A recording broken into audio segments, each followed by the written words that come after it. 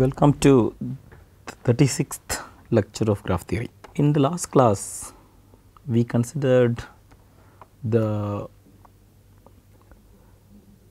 question of deciding an upper bound for the Ramsey number and getting a lower bound for it. In the last class, we showed that R of k is less than equal to 2 to the power 2k minus 3 right this by using a usual combinatorial argument. Now, in this class we are trying to get a lower bound for r of k, r of k is greater than or equal to 2 raised to k by 2. This is our intention today. Um, recall that the Ramsey number of k is the minimum integer n we can say n of k. So, okay, r of k uh, such that if the number of vertices in the graph is greater than or equal to this number, then we are, we are guaranteed that either a complete graph on k vertices or an independent set on k vertices is available in the graph.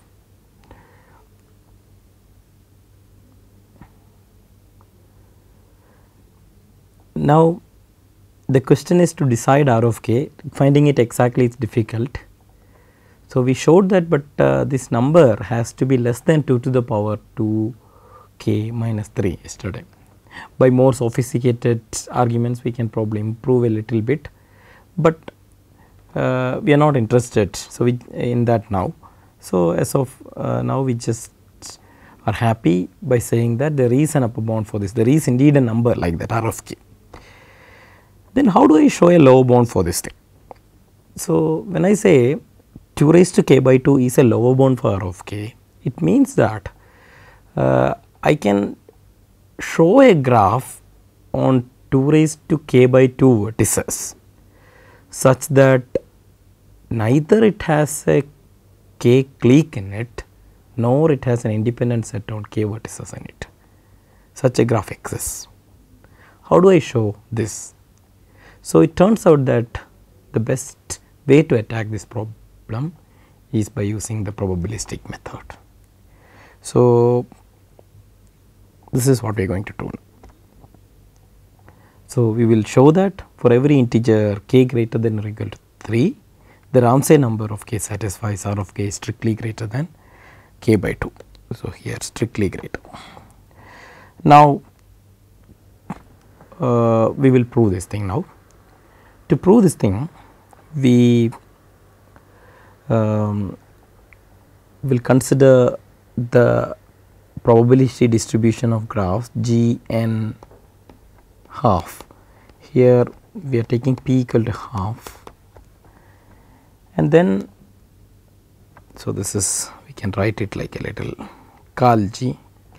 So, um, so we are taking a graph from this distribution randomly a random graph we are considering with respect to this probability from this probability space and then let us ask this question what is the probability of having an independent set of cardinality k in this graph and uh, then we ask the question what is the probability that G has a complete graph on k vertices in it. See if both these probabilities are less than half then the probability for one of these two events to happen will be less than half plus half namely 1.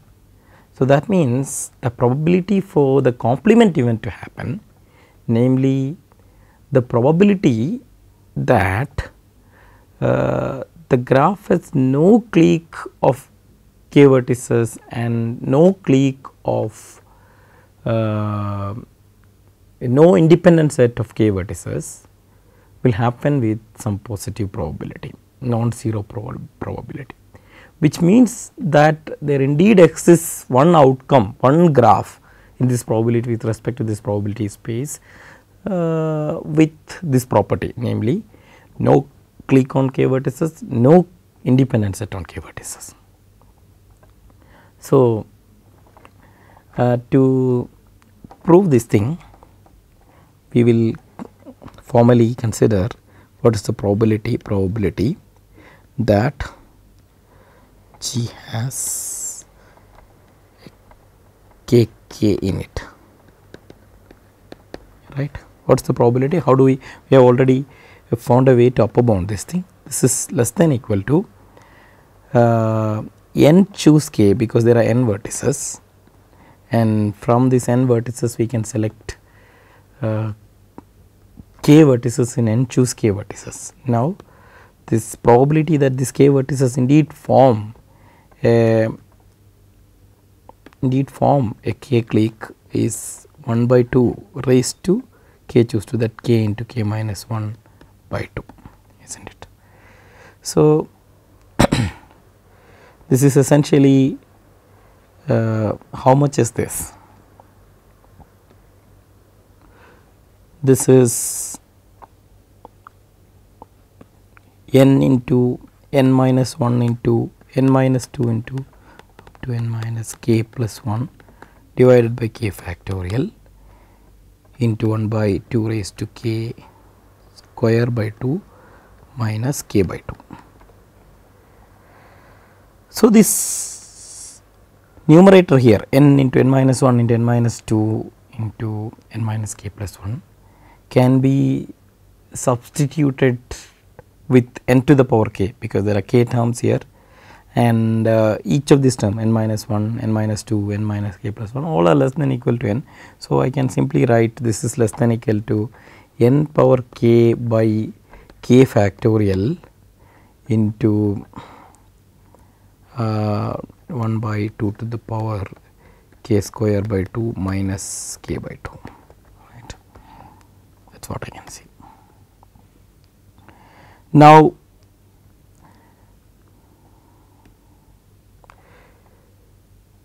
k square is greater than or we know that k sorry k factorial is greater than equal to 2 raised to k. Why is it true?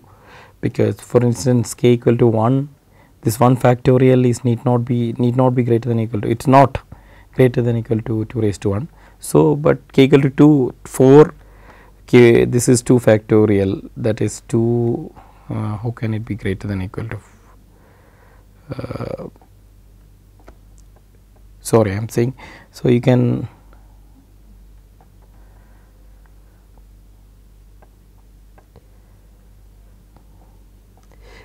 so when you put 3 here we get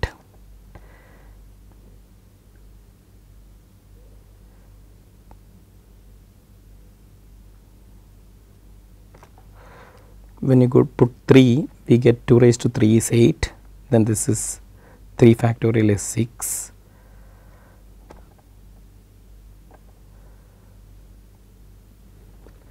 right. So, therefore, we can substitute by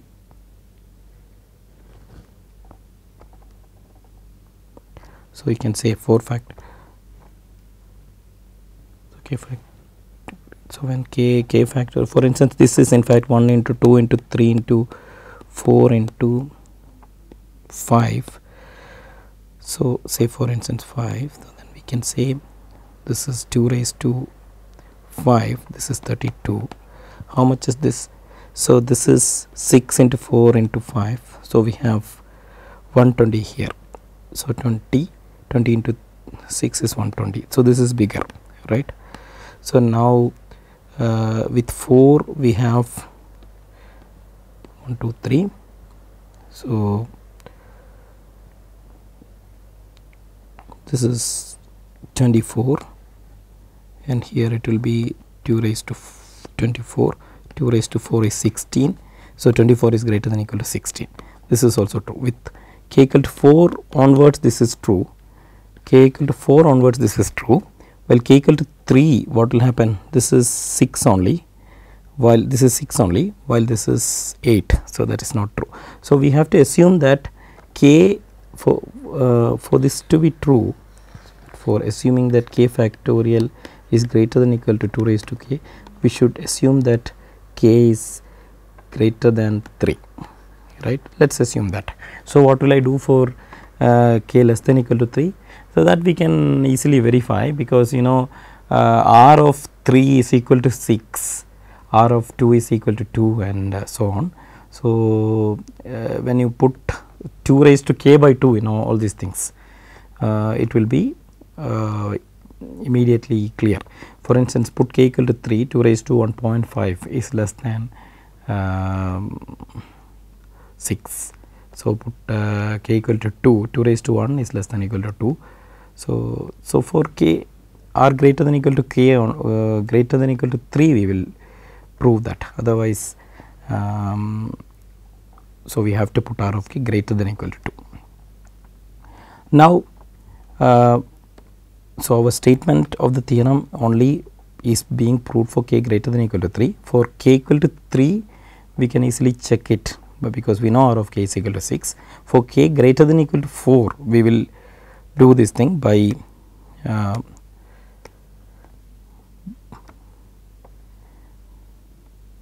by observing that. So, in this k factorial can be substituted by 2 raised to k because k factorial is greater than equal to 2 raised to k for k greater than equal to 4. So, now we will we will get this thing. So, like this, this is less than equal to n raised to k by uh, 2 raised to k into 1 by 2 raised to k square by 2 minus k by 2. When I um, now suppose n is a number which is less than equal to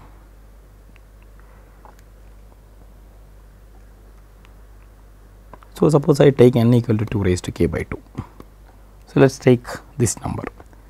Now, I can substitute this by, so this is less than equal to 2 raised to k square by 2 because I am putting n equal to 2 raised to k by 2. So, this is by 2 raised to k into 1 by 2 raised to k square by 2 minus k by 2. So, this will be, so here cancelling this and this minus so, we will get less than equal to 1 by 2 raised to k by 2. Now, I have assumed that k is at least 4 because k equal to 3 k is already considered. So, this will be uh, less than equal to. So, if I put the smallest possible value here k equal to 4 is 1 by 2 right. So, I get that it is less than equal to 1 by 2. So, what we have now done is the calculation uh, of the probability of uh, this event G has a k raise k k in it an, in, uh, an induced complete graph on k vertices in it right. So, we just did it by uh, considering all possible k subsets and we calculated the probability that it should be um, suppose given a k subsets what is the probability that there is a clique on it? That was this probability because there are k into k minus 1 by 2 edges. 1 by 2 is the probability that an edge occurs. And then uh, we multiply by n choose k because uh, we, we were summing up over all possible k subsets. If any one of them has a clique then we have a k clique. So, then we can upper bound it by that. So, this can be this actual probability can be much smaller than this total sum, but then we are we can upper bound it this way and then we substituted this thing this is replaced by n raised to k this is replaced by 2 raised to k for that as we calculated and so we needed uh, uh, the assumption that k is greater than equal to 4 because k equal to 3 unless it is not happening. So, therefore, uh, when the but then below it is clear that 2 raised to uh, for r of k we know the values therefore, we do not have to uh, bother about it. So, and now substitute it and then we cancelled all the things and then we finally, so we also substitute n equal to 2 raised to k by 2. For instance, if you take a graph with uh, 2 raised to k by 2 vertices then we can substitute n equal to 2 raised to k by 2. So, then we show that this cancels out and is because we have assumed that k is at least 4 we, we can see that this is less than equal to 1 by 2. So, this probability that G has uh, uh, G has a k k in it is less than equal to half sorry strictly less than half. So, here so is not less than equal to this is strictly less than half because we have substituted with bigger values here right less than strictly less than. So, here somewhere here so for instance when we substituted by n raised to k itself we can put strictly less than right. So, strictly less than half.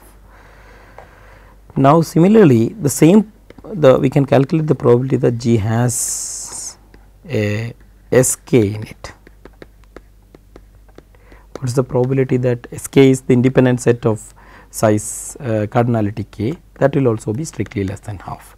So, the probability that G has either a kk or an sk in it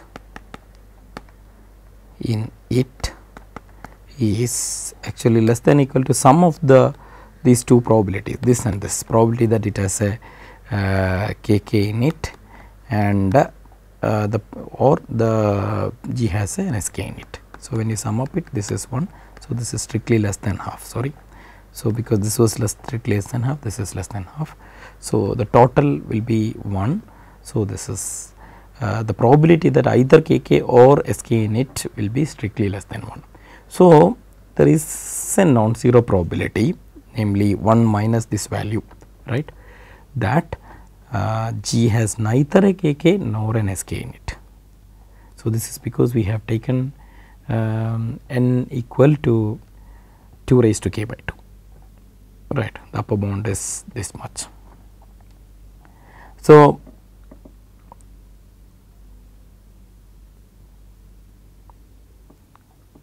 now we can infer that uh, the, the desired event namely there is no kk uh, and no sk in the graph has a probability of uh, probability which is non-zero. That means there should be a graph with uh, the desired property otherwise we will not get a non-zero probability for that event. Recall that the, the event's probability event corresponds to a set of outcomes the set of graphs in our case right. The, when I say that this property has a non-zero probability or this event has a non-zero probability, there should be some graphs belonging to that otherwise we will not be able to get uh, a non-zero value for that.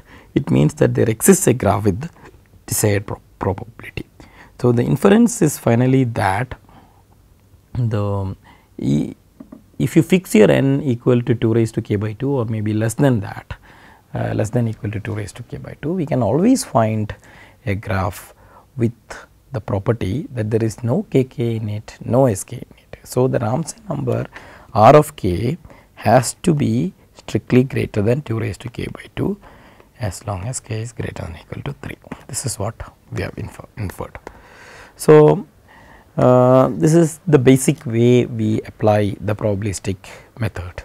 So, here we wanted a particular uh, graph with two desired pro properties that is there is no kk and there is no sk. So, we, we what we did is we looked at the com, uh, the uh, complement events namely there is a kk there is no sk. So, one of them happening the probability one of probability that one of them at least happening is less than strictly less than 1. So, by we we could add up because we are looking either this or that. So, and then because it is strictly less than 1 there should be a probability for the desired event. Now, our uh, um, intention is to introduce some other techniques of probabilistic method. So, we will start with the notion of expectations. So, let us see. So, what is the mean or expected value of a random variable x? So, let us not get uh, too much into the details of uh, probability theory, but uh, let me remind that random variable is a real valued function, but in our case when we are considering the GNP model especially when we are dealing with graphs usually our random variables will be some of the graph parameters. It can be the chromatic number, it can be the independent cardinality of the maximum independent set or any such usual graph parameter which means that uh, typically uh, they will be non-negative value 0, 1, 2, 3 like that right it can be the cardinality of the um, maximum clique so or even number of edges. So, usually we will have uh, these x taking values 0, 1, 2, 3 etc. And uh, uh, the, the expectation of the random variable x is defined to be sigma of g element of g and p. Here for in our case g and p, p of g into x of g. So, for a given graph in g and p let x of g uh, be the value for one outcome say for one graph x of g be the value of that random variable. Multiply it with the probability of that particular outcome particular graph and then uh, sum over all such outcomes possible outcomes in GNP that will be the expectation of x. So, this is the usual definition of expectation we just wrote it in terms of the GNP probability, uh, probability space that is all. Um, and now, so we will just look at some examples of uh, uh, finding how do we find expectations. So, there are um, one way of finding the expectation is to look at each possible graph and find out the probability of that graph and then find out the value of the random variable in it and multiply uh, the probability with the random variable and sum it over all those things. But many times this can be very tough. So, usually we go in a different way. So, to illustrate this point we will take up the following question. So, let us consider this question of uh, counting the number of k cycles in a graph. What is a k cycle? A k cycle means uh, say cycle with uh, exactly k vertices in it like this right. So, it is a simple k cycle. So, 1, 2, 3, 4, 5, 6 this is a 6 cycle. In a given graph G how many k cycles are there right. So, uh, now I am interested in this parameter x. So, that is the number of k cycles in the random graph G. So, this is a random variable. Now, how do I find the expectation of x? One possible way is as uh, according to the to our uh, definition of expectation, the way we have defined expectation. So, we can yeah, so the way we have we can we can consider this probability for each g and then find the value of uh, the random variable namely how many k cycles are there in it and multiply them together and sum over all possible graphs. But then this is very tedious it is not uh, possible to do that in many cases. So, here uh, we will find out a different way what we are going to do is to define a lots of so called indicator random variables namely so given a graph G so we can find out uh, each possible cycle each possible cycle means see for instance this can be a possible cycle so, 1, 2, 3, 4, 5, 6 this is a possible 6 cycle. If all these edges are present in the random graph in the graph that we have selected uh, then this k cycle is present in it. So, for instance, you can you can call it C1 then associated with C1 then I can define a random variable called xc1 and then I can define that xc1 equal to 1 if all the possible edges have appeared here. Otherwise, I can say that the the random value of the random variable is equal to 0 it is 0 or 1 variable right. It is an indicator variable uh, which indicates whether this vertices this collection of vertices in this order provides a cycle or not right. And then it is very clear that if you can sum up the indicator random variables for all the possible such cycles uh, and whether because if the cycle has occurred it will count 1 otherwise it will count 0. When you sum up we will get exactly the number of uh, cycles that have occurred. So, there are two issues here how many such possibilities we have to consider. So, one possibility so for instance we, we, we consider n vertices then there are k cycles we are interested in. So, from n vertices we can get um, n p k uh, k tuples or maybe the sequences sequences of length k.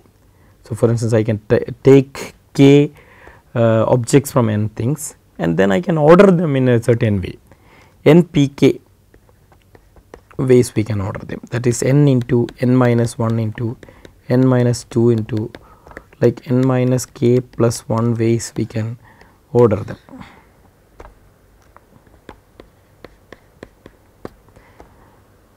If you order them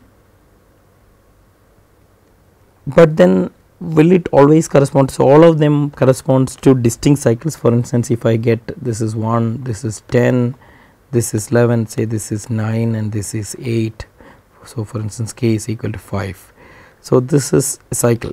But then you can see that so if i had considered so for instance i can say that 1 10 uh, 11 9 8 can give rise to a 5 cycle. But then if i had considered 10 11 9 8 1 that also gives rise to the same cycle for the same order, but then we started from a different place. That is all. So, we could have for in the case of a k cycle case we could have started from any of the k k of the any of the k numbers and we could have ordered them. That they all of them correspond to the same cycle right? For instance like instance uh, for instance this sequence and this sequence correspond to the same cycle because the same cycle will come but just that we started enumerating from here or say uh, first we started enumerating 1 10 11 9 8 the next time we are enumerating 10 11 9 8 1 that is all. The another possible way the same same cycle can occur is when you enumerate say 10 1 8 9 like this in the opposite order in the opposite order also. Or maybe this can be could have been enumerated as 1 8 9 11 uh, 10 right. So, for starting with each vertex I could have count I could have listed the members either in the clockwise order or in the anti-clockwise order there are 2k possible ways. So, this is an overcounting for the number of possibilities you have to divide it by 2k because each uh, actual cycle may correspond to 2k uh, different such sequencing right. So, therefore, the npk by 2k possibilities are there n into n minus 1 um, into n minus k plus 1 divided by 2k which we, we can even we, we can also write it as uh, n k this npk it's another notation for npk divided by 2k possibilities are there. Now for each of them I can define a indicator and random variable say x1 for the first among this x2 for the second among this. So, x so n choose k by 2k for the last one right and this each of them will become 0 or 1 depending on whether that cycle uh, appears or not whether that depending on whether that cycle appears in our random graph or not.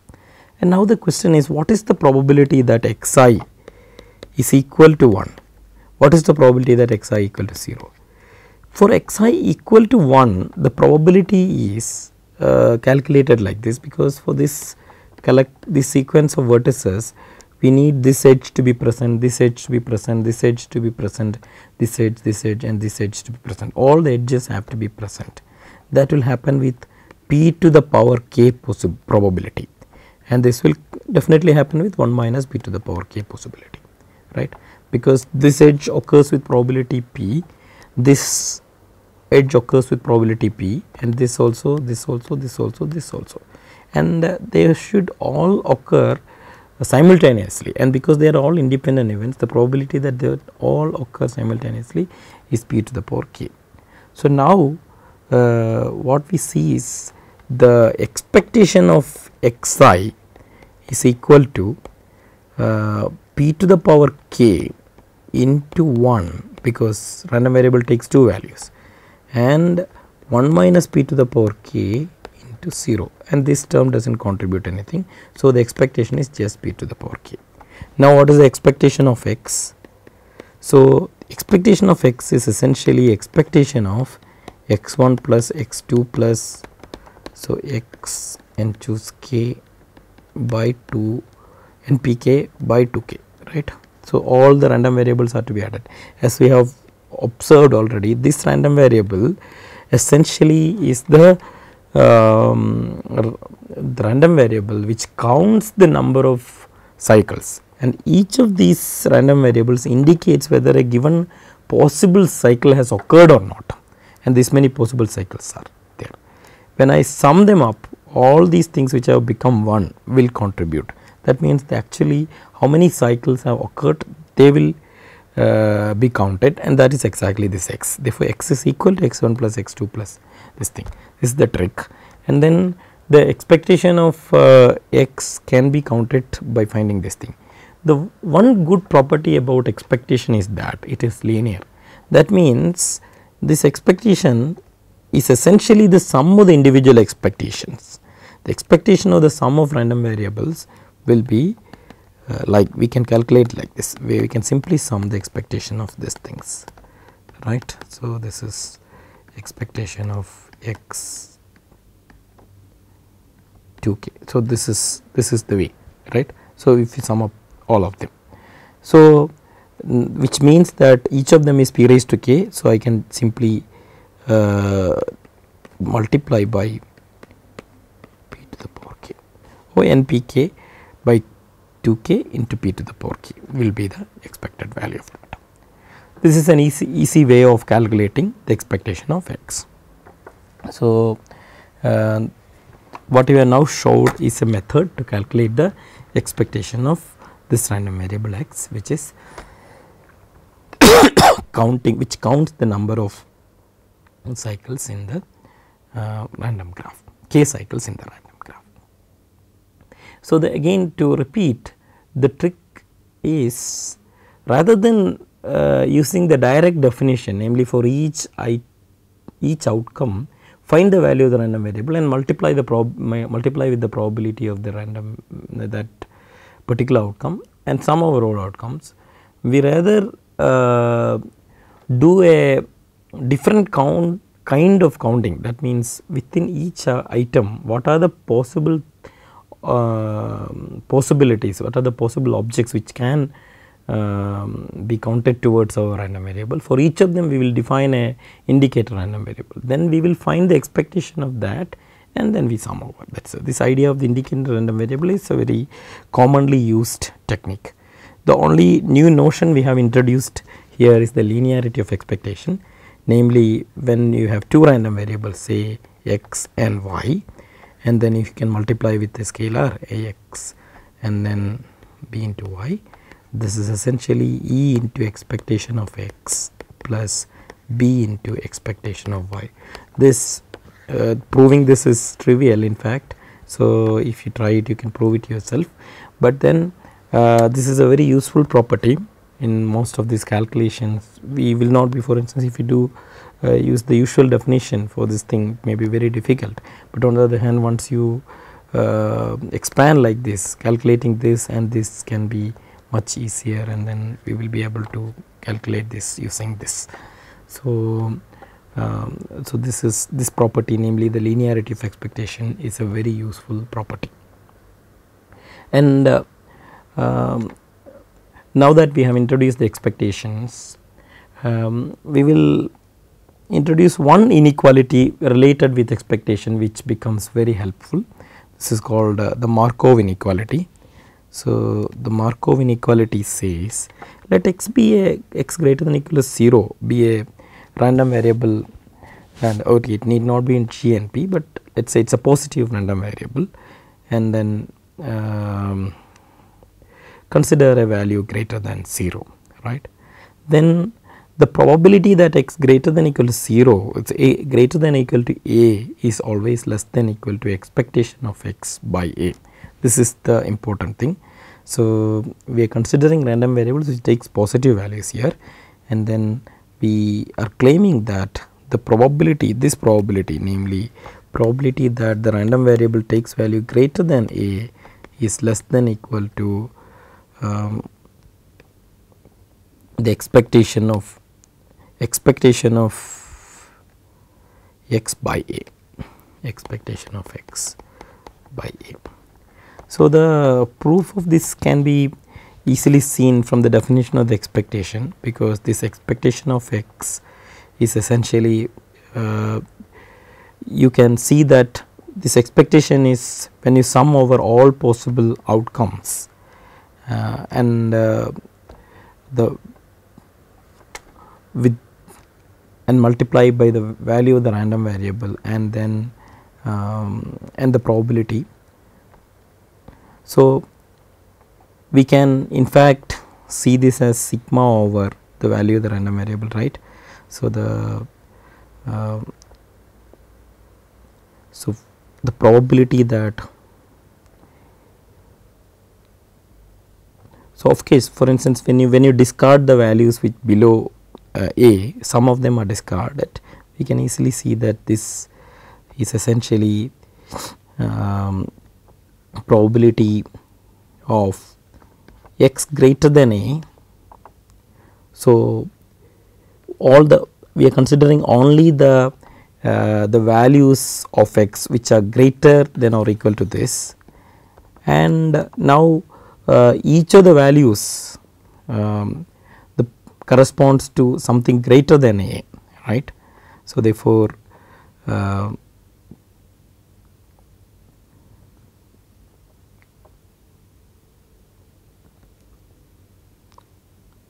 So, this will be greater than or equal to so, so what we are going to do is the expectation of x. So, for each possible value of x we have to multiply it with the corresponding probability the what is the probability that x takes this value into this probability and then uh, we sum them together. So, suppose we drop all the values uh, all the values of this random variable which which are uh, less than equal to a then and consider only those probabilities which are uh, greater than this. So, this is definitely this expectation is definitely greater than equal to probability that x greater than a and into a because all the values are at least a here. x is a or more right? For all of them together the probability is this much. Then I am substituting by a here. Therefore, uh, this will this probability alone will be probability of x greater than a will be less than equal to expectation of x by a this is what. So, this is just from the definition of the expectation and the fact that uh, a is uh, greater than equal to 0 you can get this from there. So, this Markov inequality which is um, uh, which gives me gives us an upper bound for the probability that x greater than equal to a in terms of its expectation is quite useful in many situations we will be using it. Now, uh, the uh, for illustrate all these things the expectations, the use of expectation, the use of Markov inequality. Um, what we are going to do is we will uh, we will take one interesting question um, which was one of the earliest questions in the um, in this area which was proved by Erdős. So, what is this question? So, it consider this question. So, do we have consider consider this question um, suppose we are given an arb an integer k and we are looking for a graph with girth greater than k. Girth means what? Girth means the shortest cycle length the length of the shortest cycle should be greater than k. And also another property is required for the graph. Namely the chromatic number of the graph is also uh, greater than k. Two numbers. You can always so for instance the question can be asked differently. You can say that I want the girth greater than k and the chromatic number greater than k, but that is fine we can always uh, um, change by taking the bigger of the two and then ask this question where both the both values are same. So, so I want a graph uh, that the girth is greater than or equal to something and the chromatic number is. Is it possible to find a graph always like that. I am allowing you to make it big that is not a problem. It is you can always decide that the number of uh, vertices in the graph is big, but then is it always possible? Why why do we think that it may not be possible? That is because these are kind of contradictory properties. When I say the girth is greater than k, uh, if you look from one vertex, you will see a tree like structure around it because there is no short cycles so, you have to go some distance and it will look like this for instance. So, if I look from this thing, so, so you will see a structure like this to some distance uh, until k by 2 there not be any if you go if for instance if you see a structure like this that means there is a short cycle here right. So, to some distance you not see any edge uh, blocking the tree. So, it means you may look like you, if you give a color to this thing you can give a color to these vertices and then you can give the same color here. So, it is like a bipartite graph it is two colorable graph locally two colorable. So, does it mean that somehow if not 2 so can I use 3 color or 4 color or some constant number of colors a small number of colors so that it can be colored because from looking from one vertex it look like there is not much conflict in the vicinity of that vertex from each vertex it is the case it gives us a feeling that probably the chromatic number of this thing is high. That is why we ask the other question can I keep the chromatic number of the graph also high. I want both this conflicting parameter to be high. When the chromatic number is high we may get the feeling that the graph is dense and then uh, because it is dense there may be short cycle in it right. So, that is why the, the other condition is conflicting that means we want the chromatic number high and also the girth high there should not be any short cycle in it. So, intuitively these are uh, two conditions which are kind of conflicting with each other. So, the uh, this question was not easily answered while it is very easy to uh, or it is not very difficult to cook up uh, graphs for small uh, values of these parameters, but then when uh, in the arbitrary case when if, if you allow any k so, how do you prove how do you prove that such graphs exist?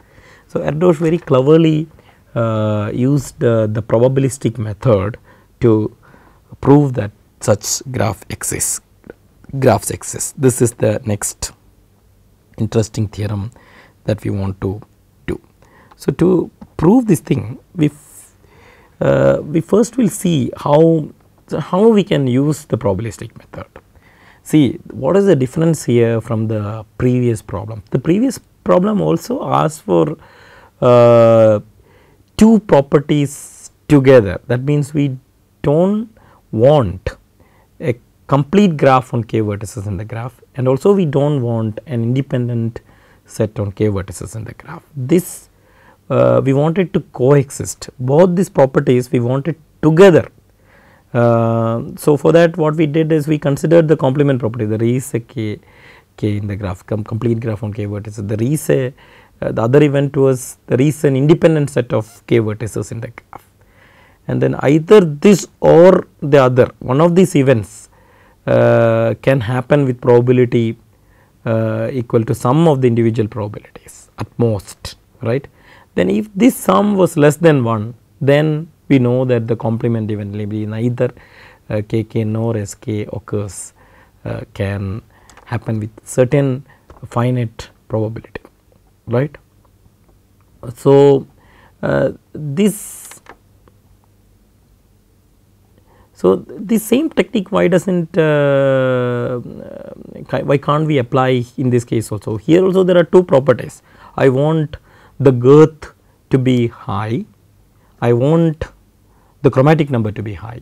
Let us consider the probability that the girth will be uh, the probability that the random graph that I have drawn uh, the the girth of it will be small right? There will be a certain probability for that and then consider the probability that uh, the independence sorry the chromatic number of it if at all if I can directly deal with it independent chromatic number of uh, this thing is also small less than k right and then sum the probabilities and show that it is less than 1.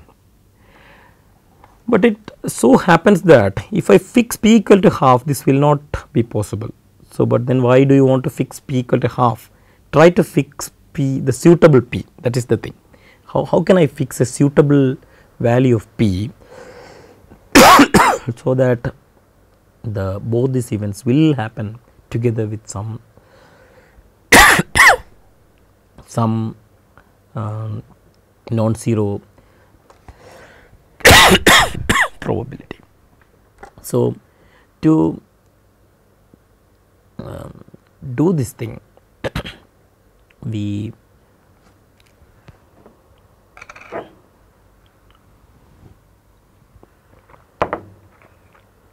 to do this thing what we are going to do is to first consider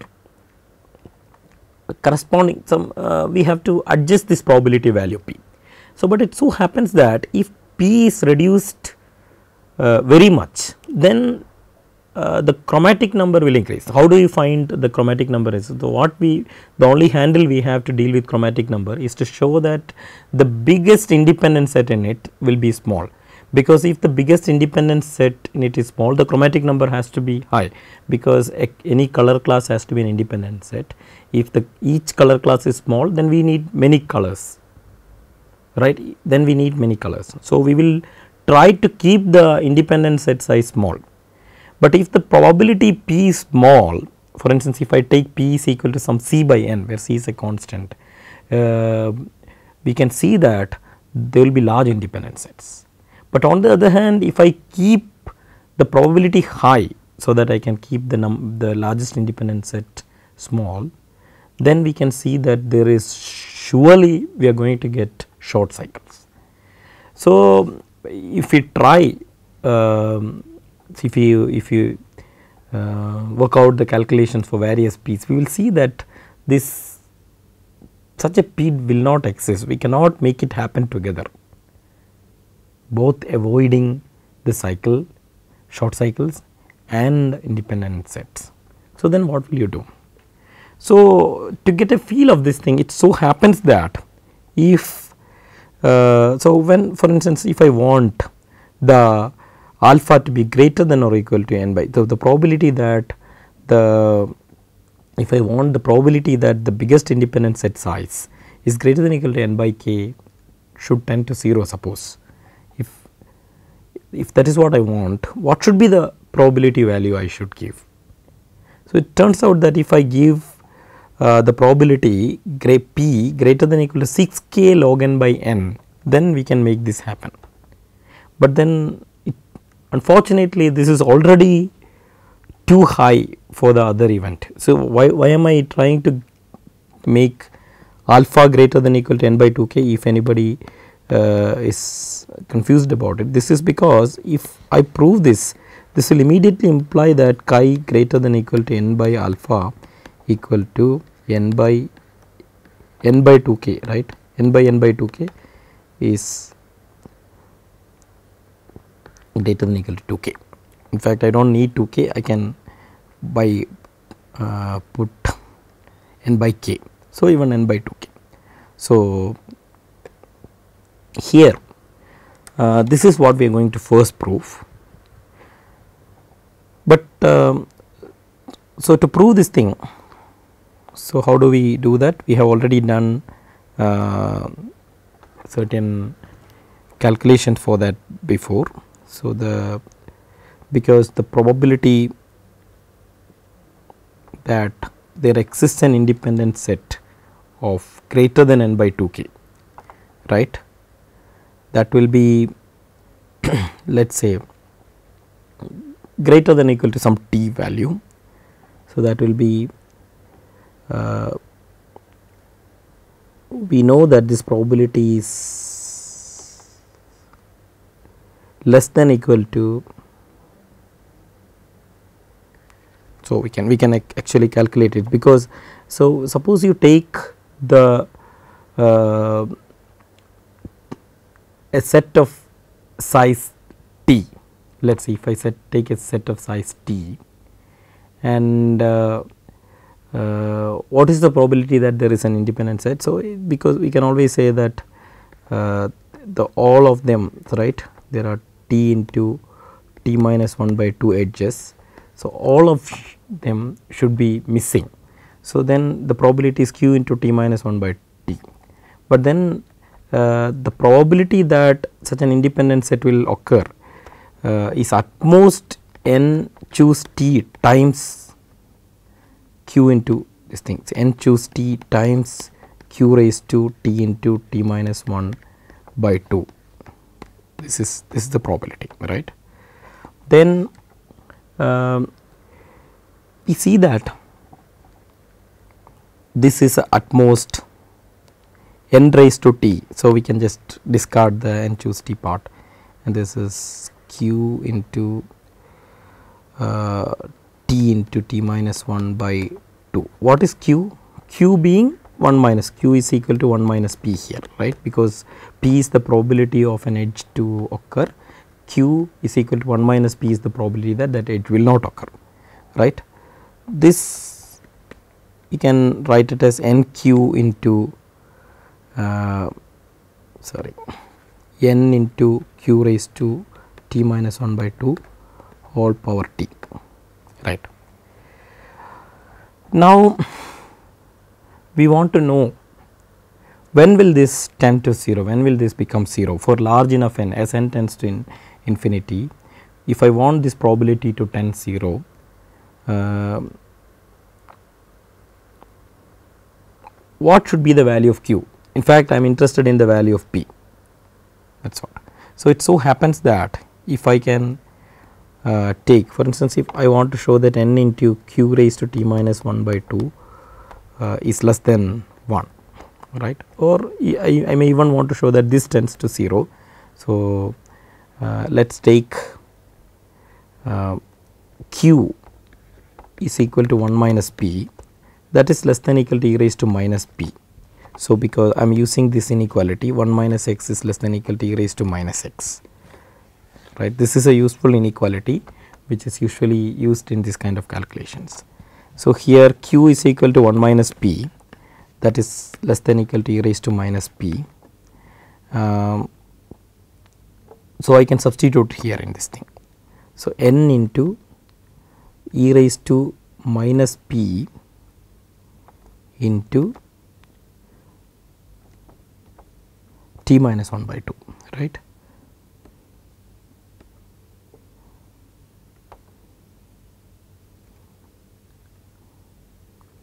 T minus 1 by 2 this is what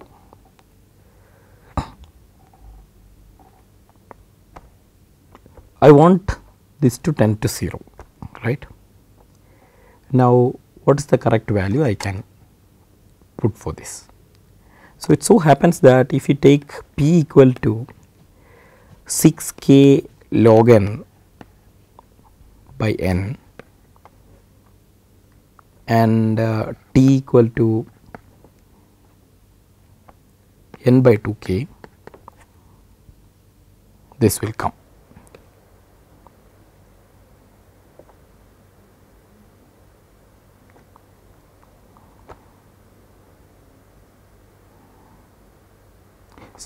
you have to take p greater than equal to any any value greater than 6 k log n by n and then so if I want to prove that uh, suppose if my the kind of independent set I was trying to see was n by 2 k then we can show that uh, this will tend to this will tend to 0. You have to substitute it here and uh, do the necessary cancellations you can show that this will uh, be equal to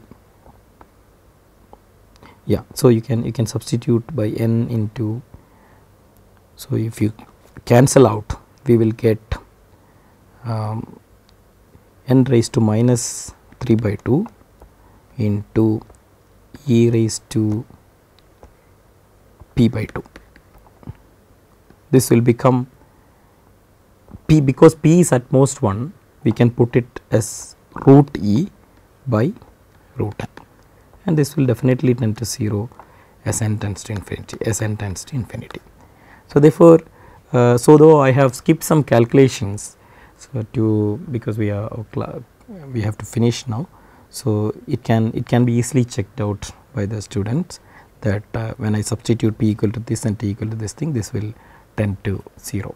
So, what we have now told is that if I had selected uh, the value of p to be greater than 6 k log n uh, then I am sure with very high probability that we are not going to have an independent set of cardinality n by 2k. That means my chromatic number is going to be at least 2k.